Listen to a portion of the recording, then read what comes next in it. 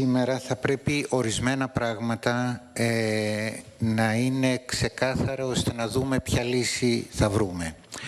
Καταρχήν νομίζω ότι το θέμα δεν είναι νομικό. Έχουμε να κάνουμε με ένα πολιτικό ζήτημα.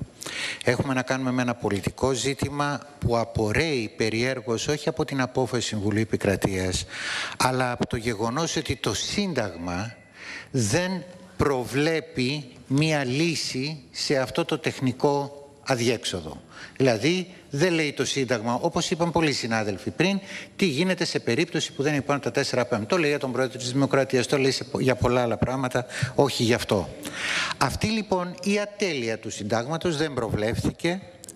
Έρχεται το Συμβούλιο Επικρατείας και λέει ότι εγώ θα πορευτώ με αυτήν την ατέλεια ως δεδομένη. Δεν, σας, δεν θα σας δώσω διεξόδους πώς να μπορέσετε να παρακάμψετε αυτήν την ατέλεια. Άρα το Συμβούλιο Επικρατείας και με κάτι το οποίο δεν τονίστηκε, με 14-11. Δηλαδή υπάρχει μια σοβαρή διχογνωμία. Εν πάση περιπτώσει ήρθε και λέει αυτό πρέπει να το πάρετε ως δεδομένο. Και τι λέει αν πάρετε αυτό ως δεδομένο, πρέπει οπωσδήποτε να συγκροτήσετε το εσουρού.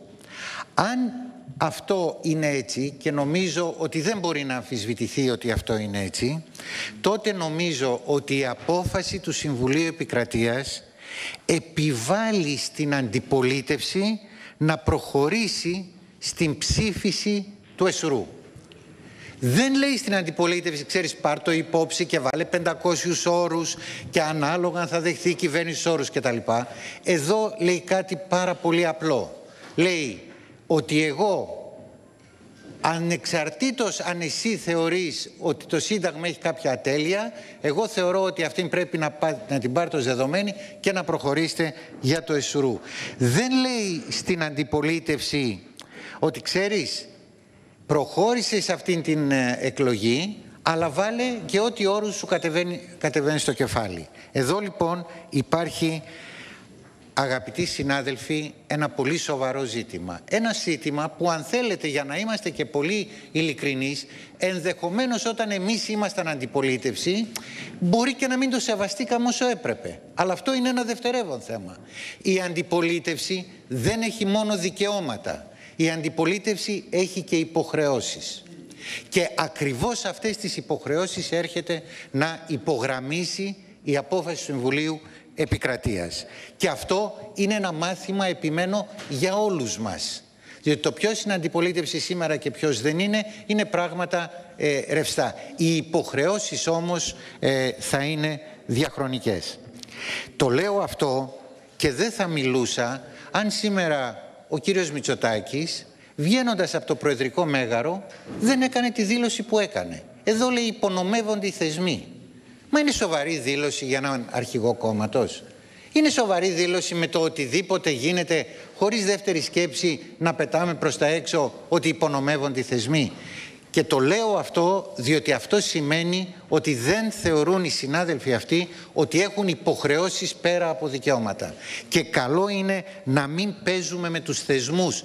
Θα τους βρούμε μπροστά μας αν παίζουμε με τους θεσμούς λίγο κουτσούρεμα από εδώ, λίγο από εκεί, λίγο το άλλο και κάποια στιγμή θα πάρουν εκδίκηση οι θεσμοί της δημοκρατίας. Εδώ λοιπόν θα πρέπει να δούμε ποιο είναι το πολιτικό πρόβλημα εντός της δικαστικής αυτής απόφασης.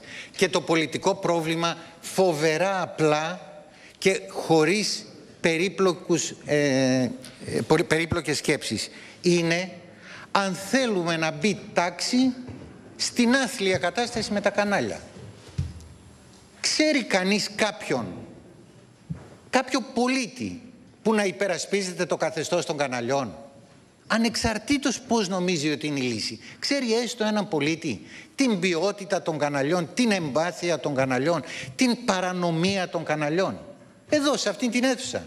Ήρθαν οι άνθρωποι και είπανε πολύ άνετα. Εμείς παίρναμε δάνεια από τις τράπεζες με εγγύηση αέρα.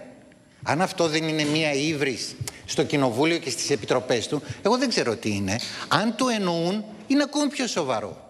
Εδώ λοιπόν το ερώτημα που τίθεται σε όλους μας είναι θέλουμε να μπει; Αν θέλουμε να μπει πρέπει να ψηφιστεί το, το ΕΣΡΟΥ, γιατί το ΕΣΡΟΥ δεν είναι μόνο για τις άδειες. Το ΕΣΡΟΥ κάνει χιλιάδες άλλες δουλειές που τώρα βεβαίως ε, δεν γίνεται. Άρα το, ο πυρήνας ε, του προβλήματος είναι θέλουμε να, να μπει μια τάξη. Καταλαβαίνω ότι μπορεί να υπάρχουν διαφορές ε, σε αυτά. Αλλά δεν μπορεί από το 2010 να μην έχει υπάρξει μια, εν πάση περιπτώσει, σαφέστατη πολιτική βούληση ότι παιδιά εδώ πρέπει να μπει μια τάξη. Και όλο με όρους και όλο το ένα και όλο το άλλο. Αυτό είναι το πολιτικό ε, επίδικο. Για να ελαφρύνω και λίγο την κατάσταση, τον κύριο ε, Πολύδωρα δεν τον ε, γνωρίζω. Ε, είμαι σίγουρος όμως γιατί έχω διαβάσει ένα από τα βιβλία που έχει μεταφράσει και αυτός είναι ο κώδικας των Σαμουράι.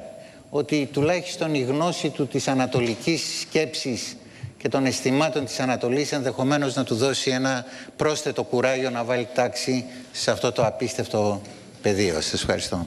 Κύριε Πρόεδρε, μου επιτρέπετε μισό λεπτό. Άλλωστε το είχαν εκτιμήσει επί 30 χρόνια οι ψηφοφόροι της Νέας Δημοκρατίας από ό,τι φαίνεται. Και αυτό και τα υπόλοιπα προσόντα Κύριε Πρόεδρε, του αγαπητού κύριου αν, Πολύδωρα. αν έχετε την καλοσύνη μέσα